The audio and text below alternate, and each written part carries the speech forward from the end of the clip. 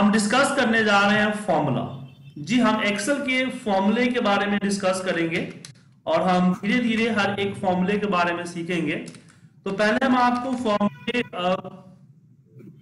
एक एक इंट्रोडक्शन कैसे अप्लाई करते हैं, क्या कंसेप्ट है, उसके क्या क्या और एग्जाम्पल्स हैं, वो हमको बताएँगे। हम आपको बताएँगे, उसके बाद फिर उनको हम डैशबोर्ड्स या रिपोर्ट्स में यूज़ करना सिखाएँगे। तो दो तरीके से हमारी ट्रेनिंग चलेगी। तो चलिए स्टार्ट करते हैं। तो हम हम पहली क्लास में आपको मैथमेटिकल कैलकुलेशन बताई थी तो वो बताने की अब ज़रूरत नहीं है मोस्टली आपको आता होगा। अब इसमें अगला जो आता है क्वेश्चन वो आता है हमारे पास, हम बात स्टार्ट करेंगे लॉजिकल फॉर्मूला से राइट पहले हम लॉजिकल कैटेगरी के फॉर्मूले के बारे में देखते हैं। उससे पहले हम जानते हैं मैथमेटिकल ऑपरेटर लॉजिकल ऑपरेटर तो लॉजिकल ऑपरेटर कौन कौन से होते हैं? ये आपके plus greater than less than greater than equal to less than equal to and हमारे लॉजिकल ऑपरेटर्स हैं। तो लॉजिकल ऑपरेटर्स का क्या मतलब है? तो चलिए समझाते हैं आपको। जैसे मान लीजिए कि मैंने यहाँ पे सेल्स की कुछ एक सेल्स की कुछ फिगर हमने दी हुई है राइट और मुझे करना है कि कौन से figure greater than 90 greater than 50 है या कोई एक पर्टिकुलर कंडीशन से ऊपर है? तो जनरली इसके लिए हम लोग चेक करते हैं कि इफ़ इट्स ग्रेटर देन 50 और फिर देते हैं। जी नहीं। इफ़ यहाँ पे हम तब लगाएँगे, उसके बारे में बात बात करते हैं। इसमें हम डायरेक्ट चेक हमें जब चेक करना है ना तो हम डायरेक्ट चेक कर सकते हैं कि ग्रेटर देन 50 है या नहीं है। अगर होगा तो रिज़ल्ट क्या आएगा? ट्रू आएगा।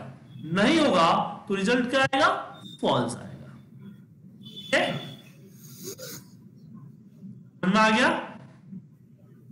यस तो हम इफ़ क्यों लगाते हैं? हम इफ़ लगाते हैं कि जो हमारा लॉजिकल ऑपरेटर जिसका रिज़ल्ट फिक्स होता है ट्रू एंड फॉल्स उसकी जगह पे हमें एक नया रिज़ल्ट चाहिए अपना चाहिए। तो उस केस में हम यहाँ पे देखेंगे इफ़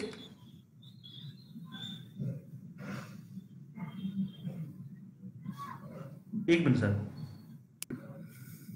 यहाँ पे देंगे इफ़ अगर ये ट्रू है तो ओके अदरवाइज़ पेंडिंग जो भी रिज़ल्ट आपको देना है, वो आप यहाँ दे सकते हैं। तो इफ़ का काम क्या होता है? ट्रू एंड फॉल्स को अलग अलग रिज़ल्ट में बांटना। ठीक है? जैसे कि अगर स्विच के आप देंगे तो स्विच का काम क्या है?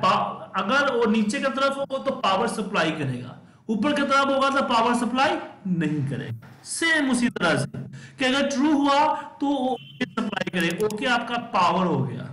अगर फॉल्स होगा तो ट्रू है। और इसी ट्रू एंड फॉल्स पे आपका पूरा का पूरा एल्गोरिदम है। पूरा का पूरा कंप्यूटर का क्या बोलते हैं? बाइनरी नंबर सिस्टम है। सिस्टम बोलता है कि zero it means true one sorry it means true zero it mean false और ए सिस्टम का भी पार्ट होता है। अगर मैं ट्रू लिखूं और यहाँ पे फॉल्स लिखूं तो सिस्टम के अंदर भी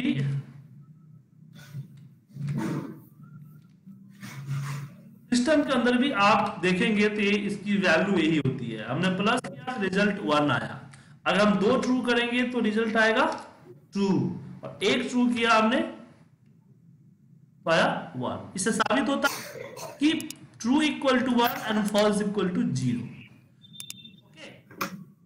तो हम टाइम हम टाइम बचाने के लिए हमें दो जगहों पे कंडीशन ना लगाना हो, उस केस में हम इफ़ के साथ डायरेक्टली इसको कंबाइन कर देते हैं। ग्रेटर देन फिफ्टी तो ए इफ़ का पार्ट नहीं है ए इंडिविजुअल है, हमने इफ़ में इसको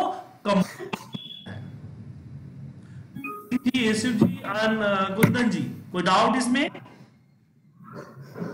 नहीं सर ओके अब इस चीज़ को समझे क्या क्या है? जैसे कि इक्वल मतलब कि एक बताइए आपको ग्रेटर देन पता है लेस देन पता है? हम दो साइन तीन मेनली साइन होता है equal greater than less than तीन मेन साइन होता है। हम दो साइन को मर्ज करके तीसरा चौथा साइन बना सकते हैं। जैसे कि greater than equal to less than equal to और not equal to not equal क्या हो गया? कि मान लीजिए हमने बोला कि 50 से बड़ा और 50 से छोटा। तो नॉट इक्वल टू 50 हो गया ना? तो नॉट इक्वल टू का साइन इसमें होता है। लेकिन बाकी प्रोग्रामिंग में देखेंगे तो नॉट इक्वल टू साइन ए होता है। बट यहाँ पे नॉट इक्वल टू साइन इसको इस तरह से लिखा जाता है एक्सेल एंड वीवीए में लॉजिकल ऑपरेटर समझ में आ गया यस Yes. तो चलिए अगली एग्ज़ाम्पल देखते हैं